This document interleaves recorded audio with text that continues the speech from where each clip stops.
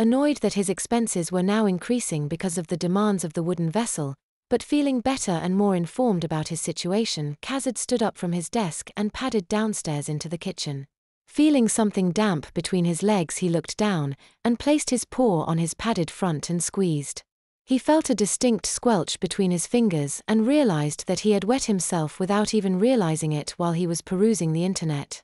Whatever that box did seriously took away my control. I didn't even realize at all that I was urinating. I could wet myself at any given time without warning.